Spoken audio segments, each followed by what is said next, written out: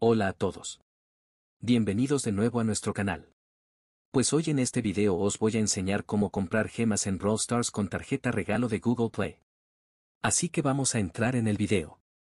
Si tienes una tarjeta regalo de Google Play, lo primero que tienes que hacer es añadirla a tu cuenta. Así que abre tu Play Store. Así que vaya a Play Store y luego haga clic en su perfil aquí en la parte superior derecha. Así que haga clic en su perfil y luego ir a los pagos y suscripciones opción aquí. Así que haga clic en él y ahora si usted tiene una tarjeta de regalo de Google Play así que ¿qué vas a hacer? Vas a hacer clic en el código de lectura para que pueda canjear la tarjeta de regalo a su cuenta para que pueda transferir los saldos. Solo tienes que escribir el código o puedes hacer clic en escanear para hacer una foto de la tarjeta.